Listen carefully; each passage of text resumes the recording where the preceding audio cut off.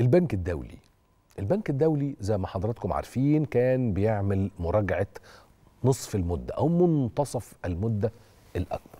في إيه بقى؟ في مشروع لإدارة المخلفات الصلبة في الشرق الأوسط. بعثة البنك خلصت العمل بتاعها. ده كان بحضور بقى محافظ القاهرة محافظ الجيزة محافظ القليوبية أي محافظي القاهرة الكبرى. الوزارات المعنية وزارة البيئة وزارة التعاون الدولي وزارة التنمية المحلية وكانوا بيترأسوا الجلسة الختامية لمراجعة منتصف المدة لمشروع اسمه إيه؟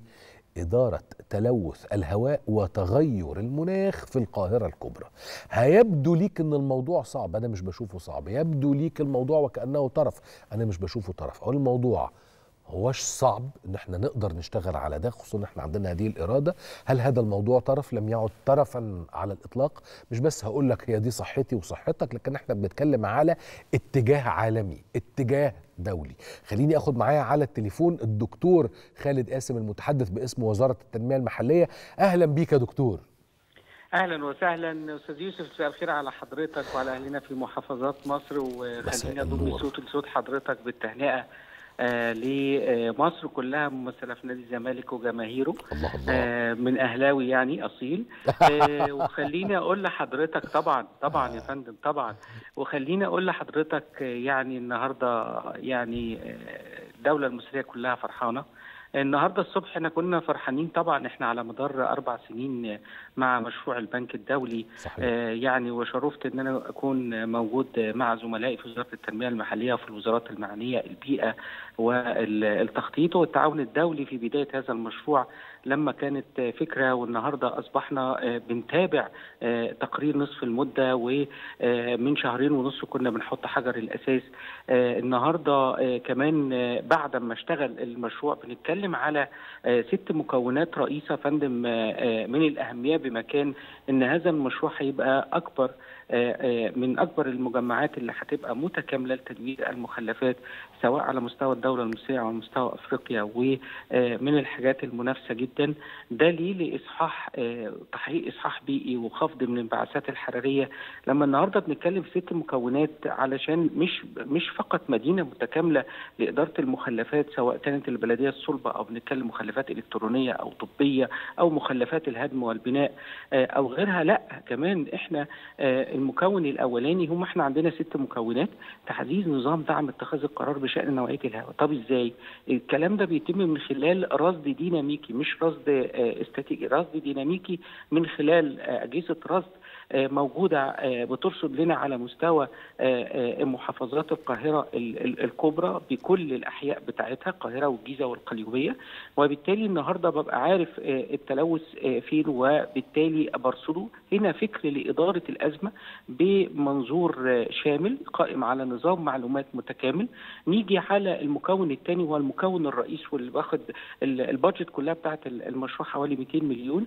المكون الأولاني 17.5 مليون دولار. المكون الثاني ال 126 مليون دولار ده علشان المدينة المتكاملة لإدارة المخلفات وهتكون إن شاء الله بالفعل في العاشر من رمضان بتخدم على المحافظات الثلاثه ويكون كمان معانا ويعني بالإضافة إلى هذا وذاك وزارة الإسكان لها برضو مساحة في هذا المخطط العملاق وبالتالي الجميع بيستفيد من هذا الأمر المكون الثالث تخفيض انبعاثات المركبات المتحركة وده على مستوى القاهرة الكبرى وعندنا هيئة النقل العام.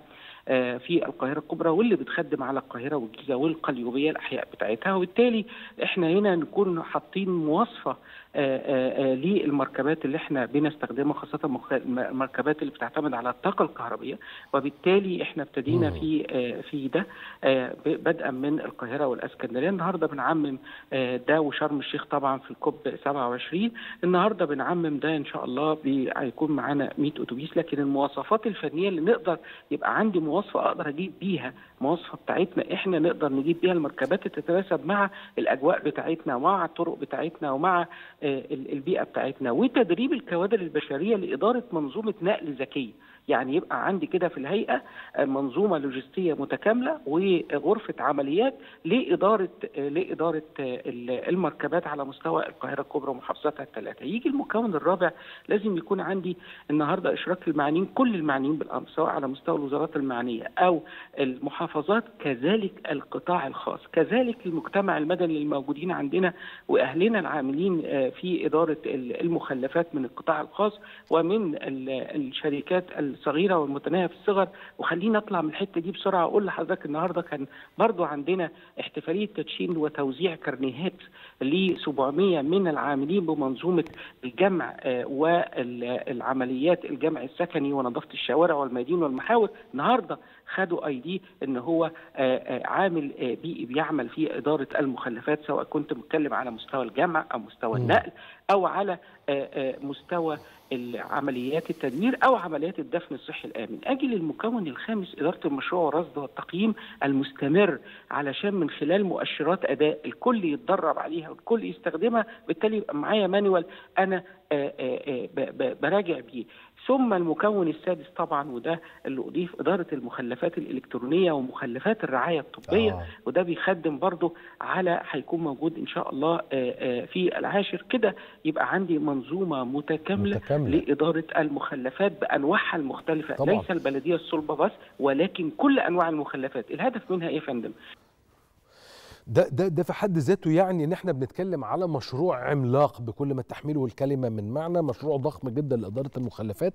وفي نفس الوقت إحنا هنا بنتكلم عن إدارة وتدوير إلى آخره وبالتالي إحنا هنا بنتكلم على تكنولوجيا وبنتكلم كمان على فرص عمل أيضا في في نفس ذات المجال. أنا بشكرك جدا دكتور خالد قاسم المتحدث باسم وزارة التنمية المحلية.